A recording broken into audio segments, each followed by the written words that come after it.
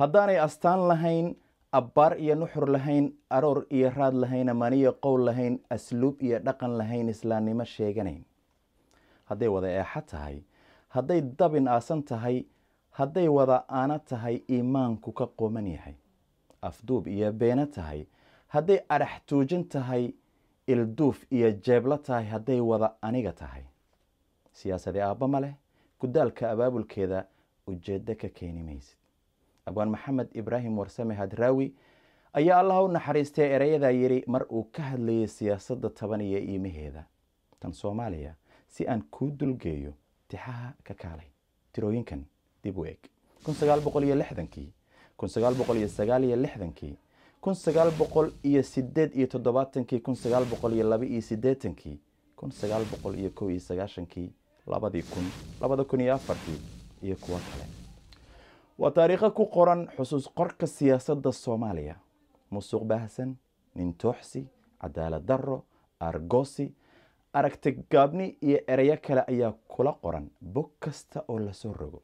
Mararka qaar isrixriixa siyaasadeed waxaa laga dhexlay dhiig daata oo aan weliba dhalin dowladnimo dhisan oo wax badan dhaanta kuwii hore loo dhaliilay ee qaar dhulka la dhigay. Waxaa soo noqnoqonaya dhibaatooyin horey looga dhiidhiyay oo ciddii ka dhiidhisay ay samaynayso. Waayo. Sawirka guud. Waxaan qeybo xiriira ku eegayaa sida haldoorka siyaasadda soomaaliya bulshada ugu hor kufeen oo ay u jihayn kari waayeen. Qeybta ugu horeysa waxaan aminkan eegayaa xabkaha dowladnimada maanta jirta isku haya gaar ahaana faragelinta shisheeye iyo sida loogu baahan yahay haldoor shidi kara shumac sii dhimanaya.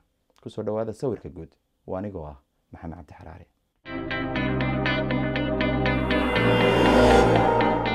ridistii xukuumaddii dhexe ee ciidanku ay caynaanka u hayeen waxa uu ahaa mashruuc qaati ugu yaraan muddo saddex iyo toban sano ah kun sagaal boqol iyo sideed iyo toddobaatanki ayay ahayd markii saraakiil sarsare oo ka tirsanaa ciidankii xoogga dalka uuna horkacaya kolonel cabdulaahi yuusuf axmed ay ka tallaabeen xadka aynu la wadaagno kenya iyagoo muraadkooda uu ahaa in dhanka kale ee xuduudda ay ku soo diyaarsadaan cudud ay ku maquuniyaan dowladdii dhexe saddex iyo tobankii sane ee xigay.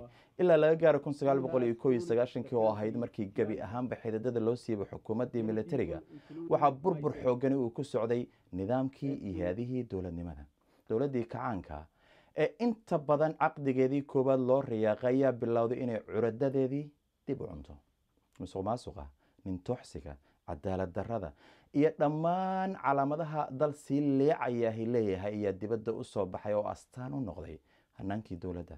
Waxaase u sii darnaa ee laga dhexlay muddada in inta badan dadka soomaaliyeed ay ka aamin baxeen nidaamka dowladnimada dhexdoodana ay kala aamin baxeen.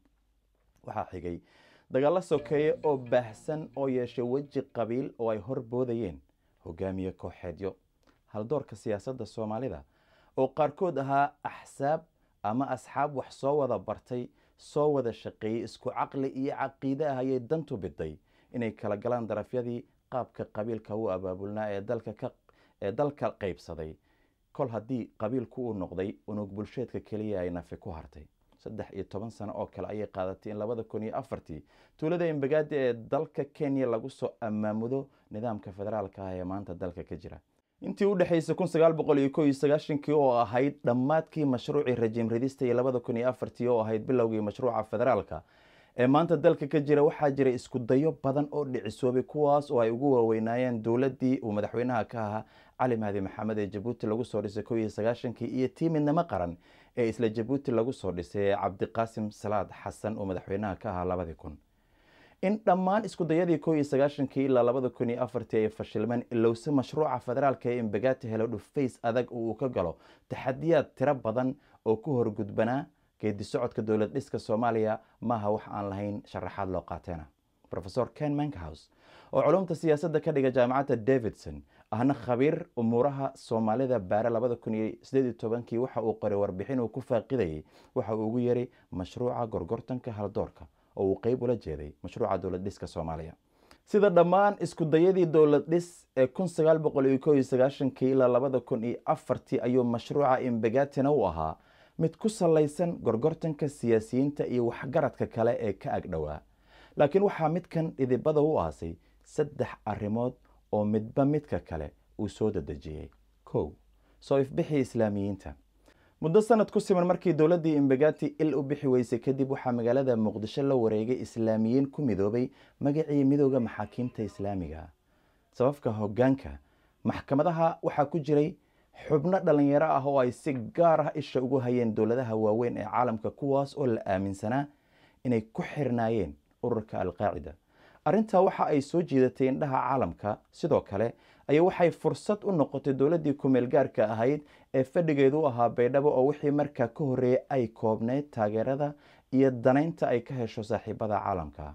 Sidoo kale waxay arrintani soo koobtay mucaaradkii hubaysnaa ee ay ku horgudbanaa ama ku horgudbanaa hirgelinta hanaanka dowladnimo ee dalka maadaama dhammaan darafyadii isku hayay siyaasadda ay yeesheen hal cadow oo u carbisanaa in dhammaantood ay cagta mariyaan.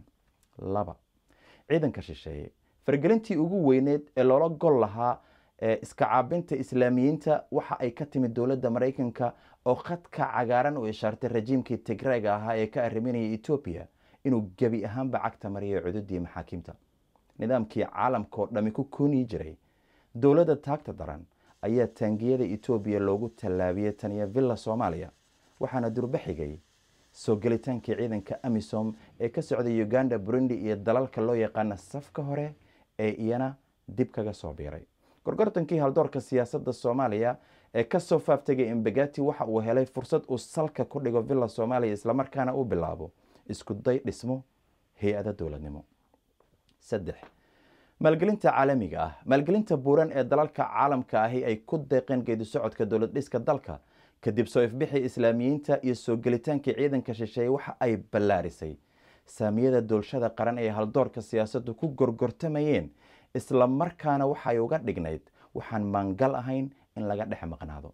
Sidoo kale deeqaha caalamka waxaa daba socday shuruudo ay ugu waaweyn yihiin inaanay siyaasiyiintu ku lug lahaan karin colaado waaweyn oo dib loo huriyo mid xil haya iyo mid xilkaa shinsadaba waxaa la xeeriyey inaan xerada laga ag fogaan. Qodobada saddexda ah waxa uu asal ahaa oo labada kale ay ka farcameen kan koowaad oo ah islaamiyiinta aa ka haqaatay ee ugu dambeyn u xoobsiibtay ururka al-shabaab.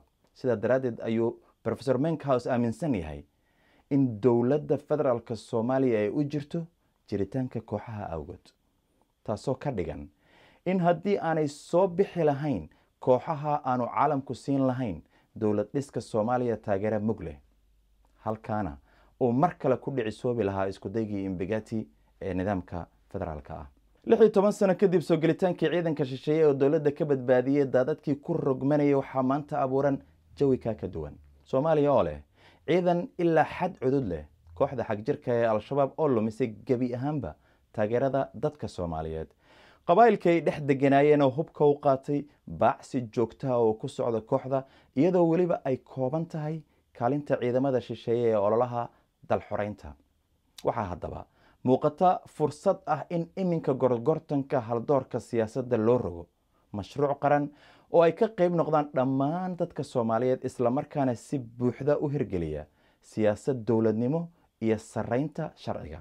Waxaase lama huraan ah in wax laga bartay fidnadii asaasiga u ahayd ee keentay burburkii hore siyaasadda aan loo dhammayn iyo ku tagrifalka awoodda dowladnimo. Ma isku kaa saaran yahay? Sawirka guud